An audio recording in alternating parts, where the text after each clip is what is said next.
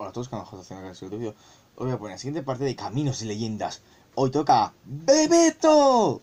Empezamos con el primer equipo que fue el Vitoria, donde jugó 24 partidos y marcó 19 goles.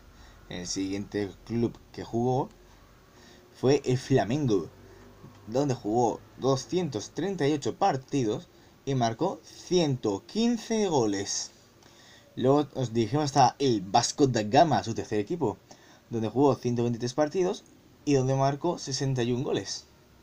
Luego tenemos que ir hasta España, por el Deportivo de Coruña, donde jugó 154 partidos y marcó 102 goles. Luego tenemos que ir hasta el Sevilla, Sevilla, Sevilla, donde jugó un total de 6 partidos, pero marcó 0 goles.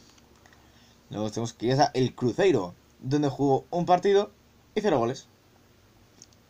Luego tenemos que irnos al Botafogo, donde jugó 37 partidos y marcó 27 goles.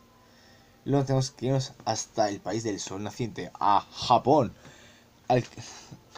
al, Kashima Atlantis, donde jugó 8 partidos y marcó un gol.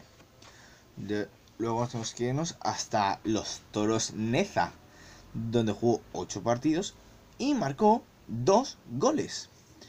Y va a terminar, tenemos que irnos otra vez a Asia para irnos al Itihad de Arabia Saudí, donde, donde jugó 5 partidos y marcó un gol.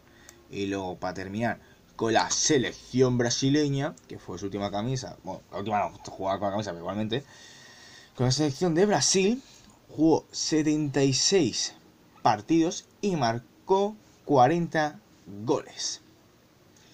Y ya se me ha vuelto a olvidar lo de antes. Perdón. Con la, con los, la selección no la cuento. Yo directamente cuento con los equipos.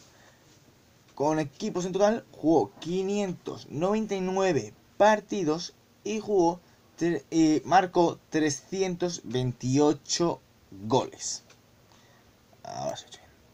Sí. Porque me, va a ser un lío decir los equipos más selección. Solo voy a decir equipos ahora. Bueno, decía 599 partidos, 128 goles. Y bueno, hasta aquí el vídeo. Y a suscribiros, solo cuesta un poco más.